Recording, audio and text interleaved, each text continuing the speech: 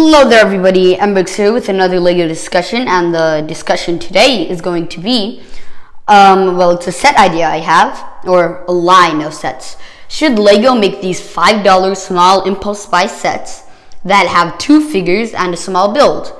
Um, I think these would sell like hotcakes actually. Like, we have polybags which rarely have two figures, but like actual good ones, like in tiny miniature boxes. For example, uh, we could have a let's say Thor Ragnarok uh, set with like a Gladiator Hulk. Definitely not big fig. I don't think they do that, but maybe a minifigure version, and then throw in Thor, and then throw in a small um, arena build. You know, just a cage to go around them. You know, just something, or maybe five dollars isn't that realistic. Let's say seven dollars.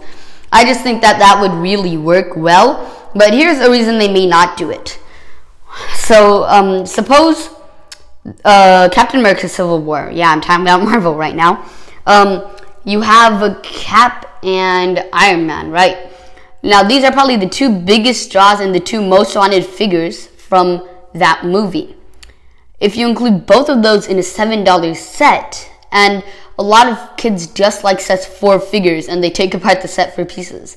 But anyway, if you just want those two figures, and they're both in a cheap $7 set, you have no reason to get the big $100 set or two $30 or $40 sets.